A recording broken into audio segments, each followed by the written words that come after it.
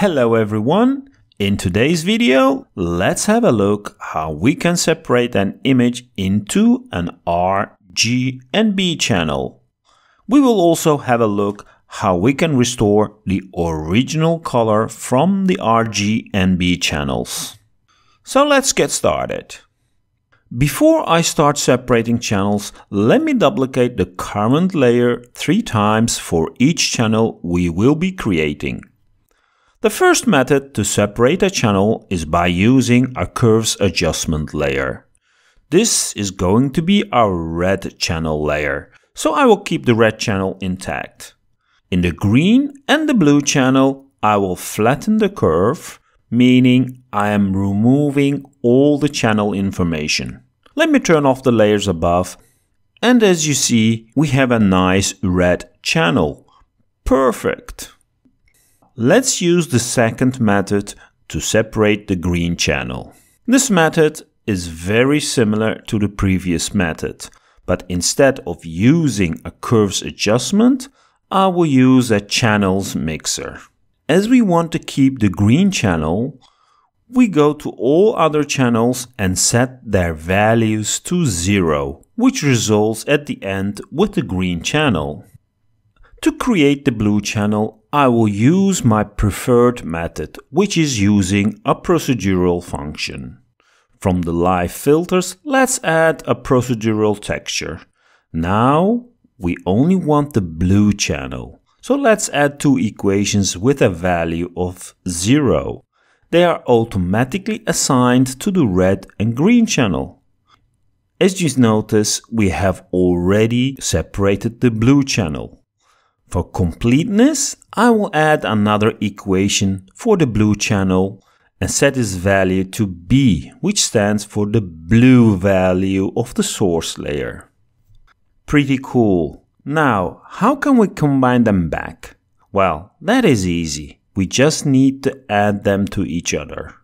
And to add a layer, you guessed it, we will use the add blend mode. So if we set the blend mode of the blue and the green to add, we get our original image color back. Pretty awesome. Let me group them and give it a name. Let's suppose we wanted the channels as a black and white image, just like when using the channels panel. As you see, in the channels panel, each channel is presented in black and white. Suppose we want to have the red channel as black and white.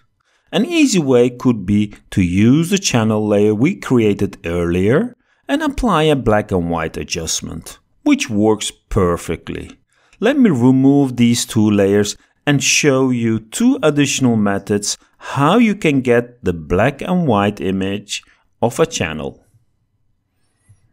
If we go back to the channels panel, select the red channel and right click on it, we can select the load to pixel selection from the context menu. We have a selection of the red channel. In order to get a black and white image of the selection, we need to apply three steps. First, we need a pixel layer. Then we need to fill the selection with white in the pixel layer and as a final step, we will need to add a black fill layer below it. And there is our red channel as black and white. Let's group it and give it a name. Now, I will just repeat the same process for the green and the blue channel.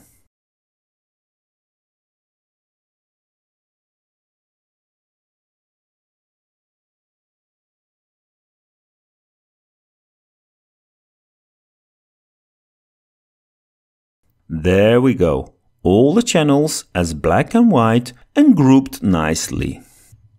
Although this works, let's have a look at the second method which is way faster. Let me duplicate the original layer three times, one for each channel. We will just add a procedural texture to the first one. As I want this layer to be the red channel in black and white, I can just add three equations for the red, green and blue channels and set their values to R, which stands for red. Awesome, we have our red channel as black and white. I will duplicate this layer two times and move them to the other layers. For the green channel, we will use the value G instead of R, and you guessed it, for the blue channel, we will use the value of B. Let's group it and name it so we know what this group stands for.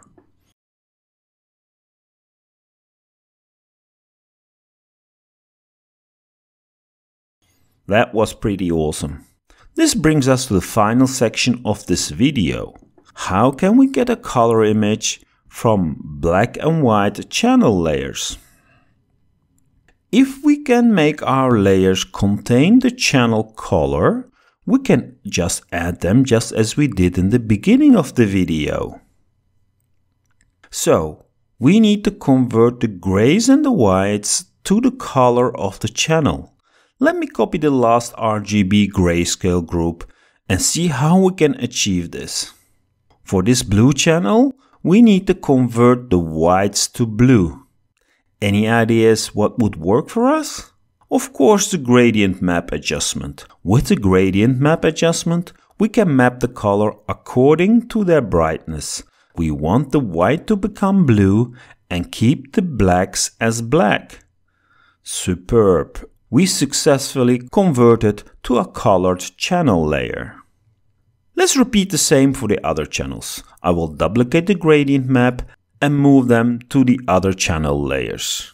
We just need to adjust the end color per channel color.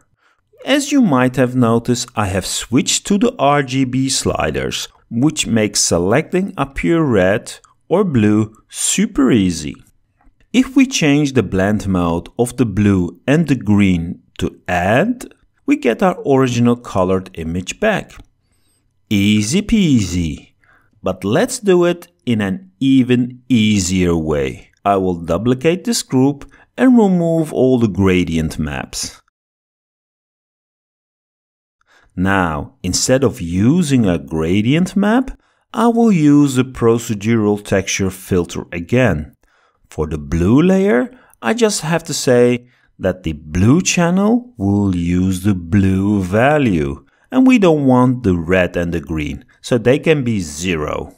If I duplicate this to the other layers and change the values accordingly, we get our image back again. Super duper! How easy is that? I hope you liked this video. In a later video, I will explain how we can use the various channels for creative purposes. But for now, thanks for watching and until next time.